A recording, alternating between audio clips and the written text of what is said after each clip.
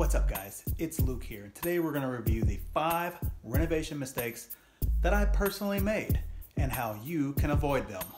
Let's go! So please subscribe and hit that notifications bell because I really need subscribers.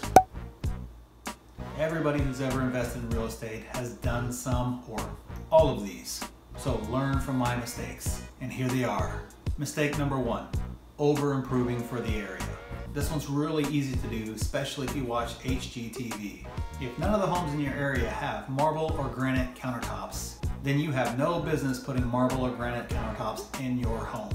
Unless you're getting them for the same price as Formica or whatever countertops are being used in your area, it's not going to pay off. You're gonna end up overspending and not getting that money back. And I've done this one personally. I put a lot of high-end touches in a house where none of the houses around it had any high-end touches nor will the people that were going to move to that neighborhood willing to pay for those touches. The easy way to avoid this is check all the listings for the houses in your area. And the houses I'm talking about, guys, are the ones that are already renovated. A crack house that needs to be renovated isn't a good way for you to figure out what you need to do. The second mistake I've made, overestimating my own skills.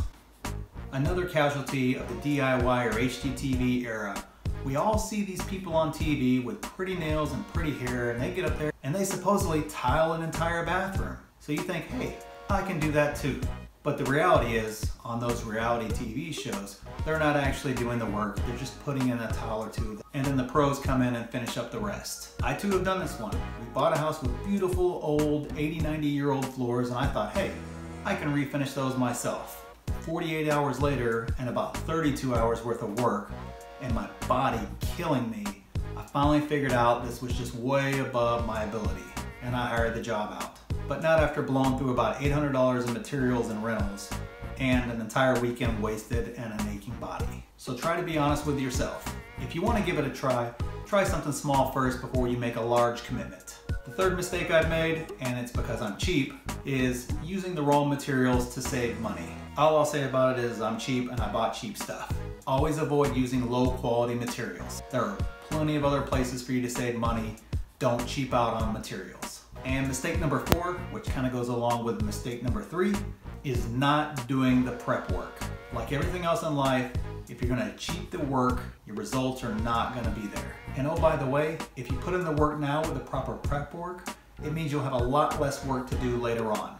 And it can be on something simple. I had to redo an entire closet one time just because I didn't double check my measurements. Not because I forgot, but because eh, I just didn't want to take the time to remeasure the whole thing.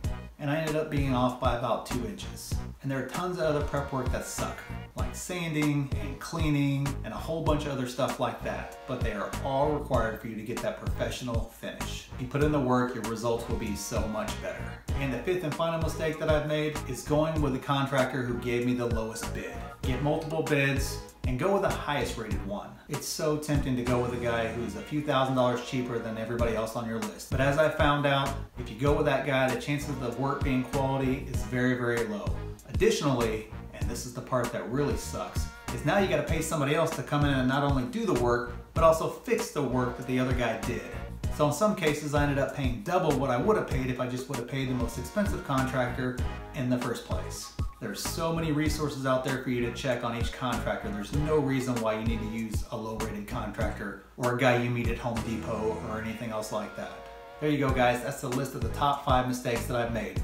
And honestly, this could have been a 200 mistake list. So comment down below let me know any mistakes that you've made and tell me how you fixed it. So please subscribe and hit that notifications bell because I really need subscribers. And give this video a thumbs up as well. Thanks.